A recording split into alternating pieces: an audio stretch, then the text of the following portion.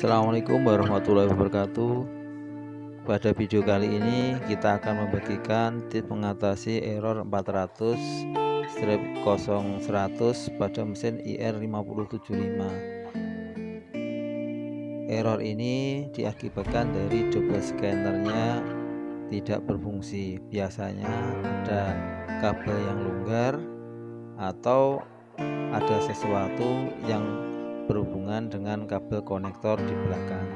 Di sini terlihat kabel konektornya ada miring atau terlepas. Langsung saja kita baikin posisinya, kita kencangin bautnya dan cek juga di ujung salah satunya yang ke reader itu kita lepas juga terus kemudian kita tancap kita kencangin lagi kalau semuanya sudah terpasang dengan bagus kita kembali menyalakan mesinnya.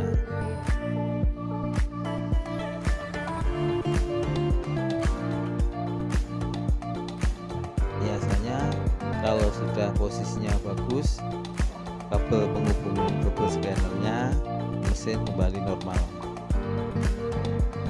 Normal dan siap bekerja kembali demikian tutorial dari kami. Semoga bermanfaat. Nilai topik bagi saya Assalamualaikum warahmatullahi